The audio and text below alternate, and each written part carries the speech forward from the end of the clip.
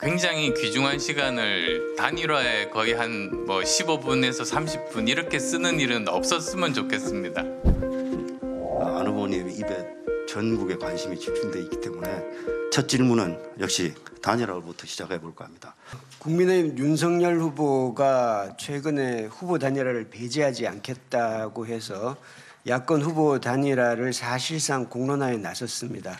저는 제가 정권 교체의 주역이 되려 나왔습니다.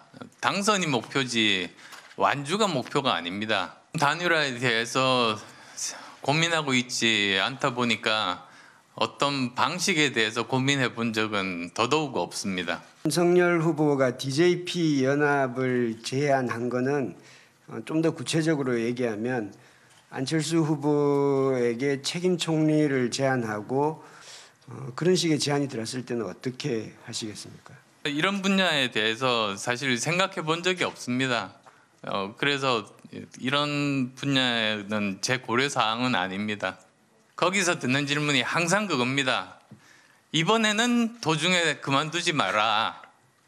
또는 이번에도 단일화 할 거냐. 근데 저는 모든 선거를 사실 완주했는데 왜 이번에도 그만둘 거냐고 이야기를 하는지 그거야말로 사실 잘못된 어, 기득권 정당의 정치 세력의 이미지 조작인 거죠.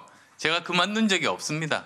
현재의 에, 지지율을 감안하면 적어도 단일화 논의 자체를 원천적으로 배제하기보다는 어, 협상에 응해야 되진 않나 이런 생각도 드는데 우선은 뭐 직접적으로 제가 어떤 제안을 받은 적이 없습니다. 이제 그건 분명하게 말씀을 드리고요. 그 다음에 저는 정권 교체가 필요하다고 생각하지만 정권 교체가 목적이 아닙니다. 더 좋은 대한민국을 만드는 게 목적입니다. 그리고 정권 교체는 그를 위한 수단이자 과정입니다.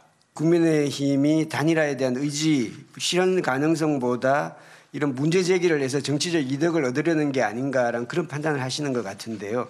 그럼 어떻게 하면 진정성이 있다고 보실 수 있을런지요? 뭐 제가 다른 당이니까 그 당 내부 사정을 어떻게 알겠습니까만 언론을 통해서 들려오는 정보에 의하면 어, 내부적으로도 크게 둘로 나뉘어져 있다고 보고 그리고 그 둘 간에도 서로 이렇게 어, 공론화 또는 합의가 되지 않는 걸로 알고 있습니다. 내부에서 합의가 되지 않은 뭐 그런 상황에서 어떠한 제안이 나올 수 있을까 그렇게 생각합니다.